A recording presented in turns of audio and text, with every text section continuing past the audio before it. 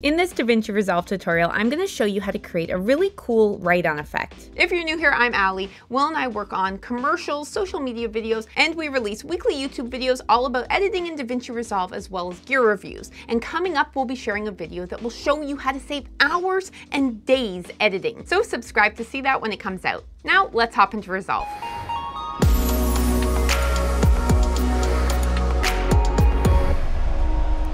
Now, if you're new or intimidated at all by Fusion, I would say this is a pretty good spot to start because it's not too complicated.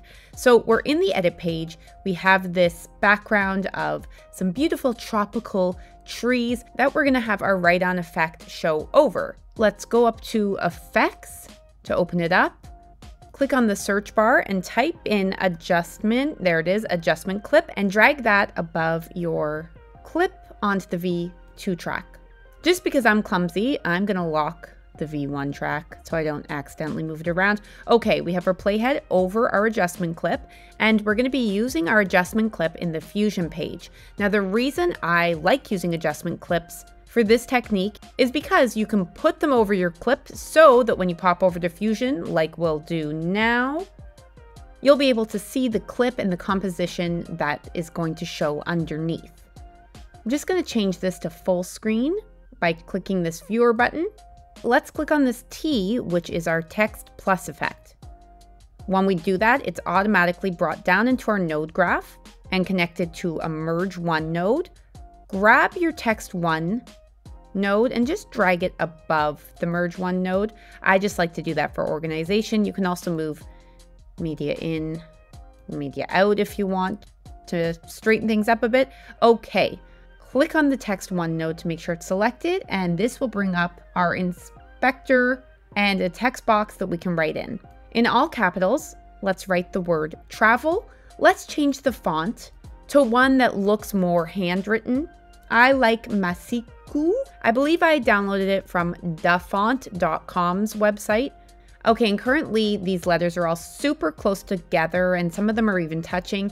That's going to be a bit problematic when we're doing our write-on effect. So where it says tracking here, move the tracking slider to the right to increase the space in between each of these letters like so. And we can also use the size slider, move it to the right to increase the size of our word. The next thing you want to do on your keyboard is hit shift and the spacebar. Doing that will bring up this window that lets you select lots of different tools. And let's search for mask paint. There it is. Press add, and that will be added on top of our text node here. And by default, selected. You may have noticed that our word disappeared. That's okay. In our inspector, let's select mask and choose invert. Now we want to change our brush type to stroke, which we can do up here on the left by clicking this brush icon here, if you hover over it for a second, you'll notice it says stroke, select it, and we now have this little green circle that we're going to use to paint over each of these letters. It's a little small right now. If you notice, you want it to be just a bit bigger than the thickest part of your letter. To adjust that, we'll go back over to the inspector, select controls, click the brush controls drop down menu, and increase our size slider a bit. Let's just check. Okay, so now it's a bit bigger than the thicker part of the letter. I'm happy with that. And you want to bring softness way down. It's just not needed. So let's drag it to the left as far as we can. We also want to click the stroke controls drop down menu where it says stroke animation. Click and choose write on. Awesome. Okay, and now we can start writing or drawing over our letters. You want to keep in mind that when you're doing this, do it in the pattern, I guess would be the word, in the style, in the way that you would actually handwrite the word. I'll start just below where the T is, click down, Go slow because if you make a mistake, you have to start from the beginning. And another thing, you don't want to let go of your cursor until you're done. If you let go by accident, you're going to have to start again.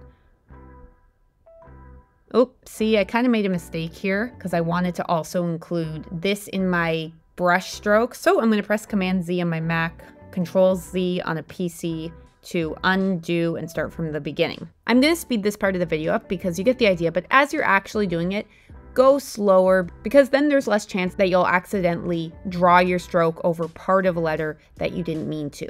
Okay, when we're done, we're going to see all these little points and we cannot see our word again. Under mask, let's uncheck invert. Okay, there it is. Next, we want to open our keyframes tab up, which brings all this fun info up. Let's click here on this little double arrow icon to zoom to fit so we can see everything. Click on the drop down menu that says mask paint 1 and stroke 1.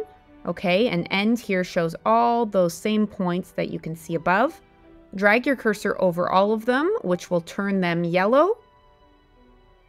And we're going to click on time stretch. This is a tool that allows you to shorten or increase the duration that animation occurs. Let's hover our mouse over the end here and you'll see these double arrows come up. So you can click and drag way inwards a whole lot.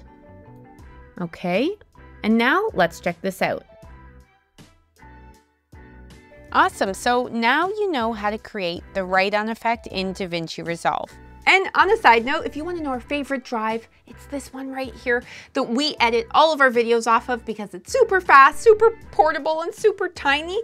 Or if you want to know any of the gear that we recommend and use on our commercial video shoots as well as our YouTube shoots, then check out the description below. Ooh, and I just released a video showing five creative masking techniques, and one of them I've never seen taught anywhere, so check that video out next to learn my masking secrets. I hope this video was helpful to you and that you have a lovely day. We'll see you in the next video.